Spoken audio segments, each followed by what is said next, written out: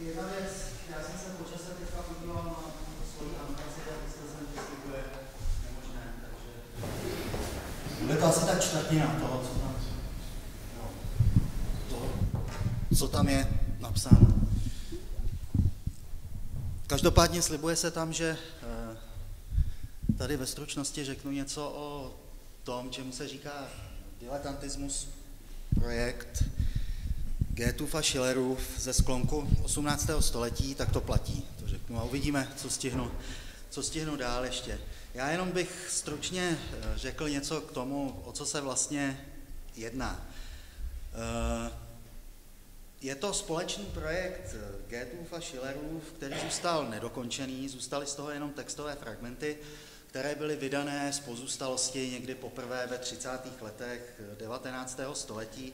Tohle je, tohle je z toho výmarského vydání, nebo Sofie Ausgabe, jak se tomu říká taky. Našli byste to ve 47. svazku, má to nějakých 40 stran v tom vydání. Když se na to podíváte, tak oni skutečně jsou to, jo, to byly vlastně lístky s poznámkami, které ani něco je v Getově rukopisu, něco v Schillerově, ani se vlastně neví, jaký je přesně přínos každého z nich, ale většinou teda víc těch textů bývá v Getových spisech než v Schillerových spisech. Každopádně ty, vypadalo to tak, že, jak vidíte, uh, oni se rozhodli proskoumat uh, přínos a škodlivost diletantismu Eh, v různých uměleckých druzích. Jo. Tady vlastně to je to mm, úvodní členění, které vychází z toho, že každý, teda, každý z těch uměleckých druhů, tady je teda poezie, hudba, tanec, kresba, malířství, sochařství, architektura a zahradní umění. No, divadlo je zvlášť. No a potom, potom vlastně se přechází k tomu, že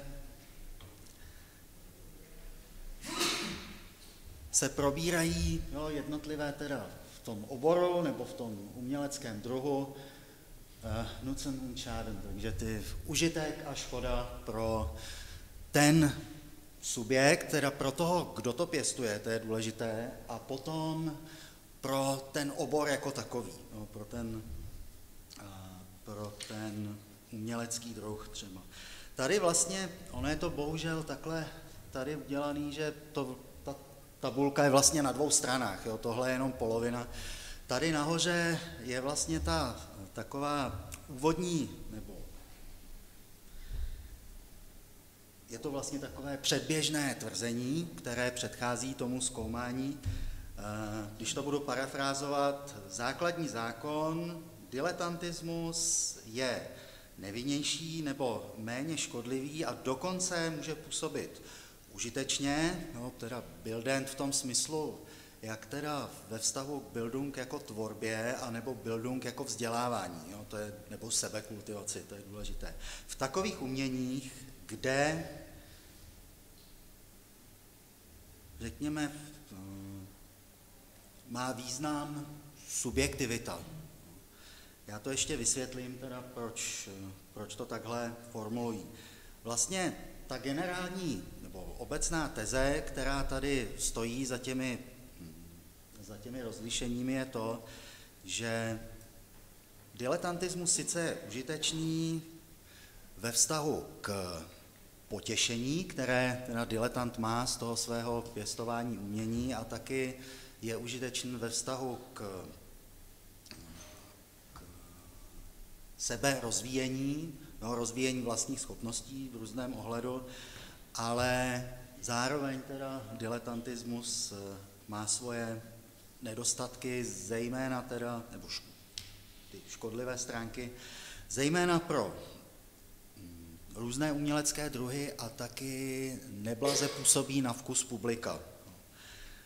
Eh, každopádně, co je důležité tady poznamenat, je to, že eh, ať už je diletantismus chápán tady jakkoliv a většinou je chápán negativně, tak je chápán jako něco, co není fušeraj pouze. On není to packalství nebo neumětelství. To rozhodně se takhle nestotožňuje. Eh, tady z těch tabulek vlastně, které pokračují potom vysvítá postupně, že jakýmsi protějškem, provizorním a neúplně jasným toho diletanta v tomhle projektu je to, co se tam nazývá pravý umělec. No, pravý umělec.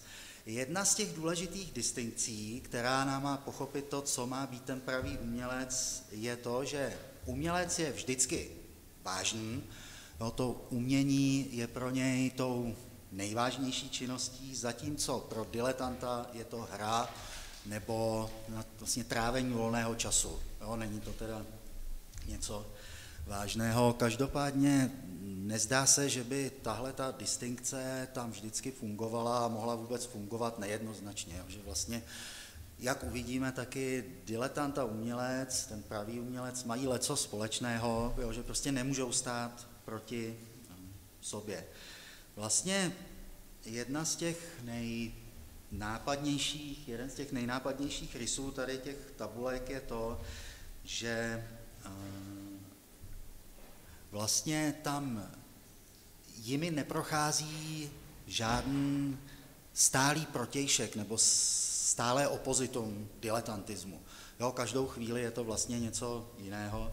Přičemž ty tabulky potom jsou následovány prozaickými fragmenty, které se snaží to zpřesnit jo, a nějak, ten, nějak, ten, teda, nějak se na tenhle ten problém zaměřit. Pokud bych, já tady samozřejmě to nebudu, nebudu procházet celé jo, ty, teda ty body škodlivosti a užitku, jenom pro představu. Jo, tak tady, když se podíváme hned na ten první, jo, tak tady je poezie, eh, tak pro subjekt, pro toho, kdo je pěstuje, tak eh, užitečné je to, že teda se nějak pěstuje, řekněme, estetická citlivost, eh, škodlivá je teda nějaká plochost nebo mělkost.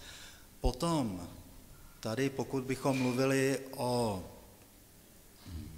pokud bychom mluvili o prospěšnosti pro ten umělecký druh, tak eh, tady se mluví o nějaké konvivialitě a idealitě a tak dál, jo, nebudu to, jo, je to prostě rozlišování tohle typu. Každopádně eh, já bych se tady zkusil to nějak, protože není, není čas, zkusil bych to nějak eh, sumarizovat v několika bodech, jo, to, ta hlavní tvrzení. Eh, umělec, kterému se tam říká mistr taky, no, majster, je vlastně se odlišuje od diletanta proto, že ho příroda obdařila talentem, jo, nebo je to genius přímo. Tam funguje hodně teda tohleto rozlišení, tam uh, má přirozen talent, nemá přirozen talent. Uh, jak jsme viděli, další bod je, že umělec je vždycky vážný ve svém zaobírání se uměním, zatímco pro diletanta je to hobby pouze nebo hra. Eh, zásadní věc taky je, že eh, tvorba toho pravého umělce představuje inovaci pro umění, zatímco eh, diletant pouze napodobuje no, vlastně to pravé umění. Bývá často tam, taky se tam objevuje teda slovo plagiátorství často, jo? vlastně ten diletant je chápaný jako plagiátor. Sice teda diletantismus se chápe jako něco, co vytváří no, díla, která mohou připomínat umění, ale ty produkty diletantismu by se měly od umění odlišovat. Diletantismus může být užitečný v tom, že slouží vlastně jako vstupní brána do umění. Jo, ale potom teda pravý umělec jde za něj a nad něj. Eh, další věc, kterou už jsem tady naznačoval, diletant není vždycky fušer nebo packal, i když samozřejmě takové případy být mohou. Eh, záleží to taky na tom, jakému uměleckému druhu se věnuje. Jak už jsem naznačoval, tady vlastně ten, ten základní zákon k tomu taky ukazuje, čím víc to, to čemu se věnuje, eh, vyžaduje technické dovednosti nebo řemeslo, tak tím ty výsledky bývají horší. No, v tom ty výsledky toho diletantního zájmu. Pokud mluvíme o teda hodnotě diletantismu, tak asi to, co se tady jeví jako nejvýznačnější přínos, který prochází různými obory umělecké činnosti, nebo teda, teda činnosti diletanta, takhle, tak je to kultivace různých schopností. Ať už je to třeba, řekněme, estetická výchova i v tom smyslu zjemňování mm, senzorického aparátu, jo, cvičení oka, cvičení ucha. E, nakonec třeba tady u tance, že jo, je to i rozvoj tělesných schopností a tak dále. Jo. Takže je to teda kultivace v různém ohledu, ať už teda fyzickém i nebo e, psychickém. Eh, samozřejmě tady znova přichází do hry to, že hodnota toho díla eh, záleží na tom, o jakou aktivitu se jedná. No, to znamená, lepší to, lepší to vždycky dopadá třeba v oblasti té eh, lirické poezie, která tady zjevně z nějakého důvodu je chápána jako něco, co nevyžaduje takovou znalost řemesla. Další teda důležitá věc, která se tam taky objevuje, je to, že eh, diletantismus je prospěšný pro, řekněme, společenského ducha, jo, nebo teda, mm, konvivialitu, jak jsem to tady nazval. Nicméně, ať už ty hodnoty diletantismu jsou tady pojímány jakkoliv, tak uh, jsou vždycky menší než ty nevýhody. Jo, vždycky teda ten ta škodlivost převažuje nad eh, užitečností. Tady k tomu ještě bych eh, přičinil dvě poznámky. Pokud umělci jsou schopni produkovat vlastně falešné umění, to nepravé, což se tam taky připouští, tak to zároveň implikuje, že umělci taky někdy vlastně se propadají diletantismu. Eh, proč to tady zdůraznuju v té poznámce? Eh, tadyhle ta potenciální koexistence vlastně uměleckosti a diletantismu, která se tu připouští, ukazuje, že ta dichotomie umělce a diletanta, se kterou se tu pracuje, se eh, velmi těžko dá udržet. Další bod teda ještě se týká toho tvrzení, že diletantismus může sloužit pouze jako jakási vstupní brána do umění, což vlastně zase znamená, že někteří diletanté zjevně se mohou stát i umělci, jo, že teda překonají ten diletantismus a stanou, stanou se z nich ti mistři nebo praví umělci. Takže dalo by se říct, že diletantismus tady vlastně vystupuje ve třech podobách, jako pouhé imitování umění, jako teda to plagování, potom ale to ty plagiáty mohou být zdařilé, jo? natolik zdařilé, že si je publikum splete teda s tím pravým uměním. Potom se samozřejmě jedná o to fušerství, jo, to se tam taky vyskytuje, no ale potom to vlastně může být i jakési učednictví, které vede k tomu pravému umění. Jo? Takže vlastně asi takhle v tomhle smyslu se to tady, nebo v těchto hlavních smyslech se to tady vyskytuje. Teď obecnější poznámky tady k tomu, tady k tomu schématu. Doufám, že ještě eh, jich stihnu eh, více. Víte, že teda Goethe a Schiller chápou diletanta jako někoho, kdo rozhodně nemá talent přirozený, rozhodně teda se mu nedá říkat genius, ale nicméně faktem je, že diletant pro ně neznamená nějakou marginální postavu, no, která by mohla být zanedbávána. Samozřejmě o tom svědčí už ten projekt jo, samotný, teda, jeho existence.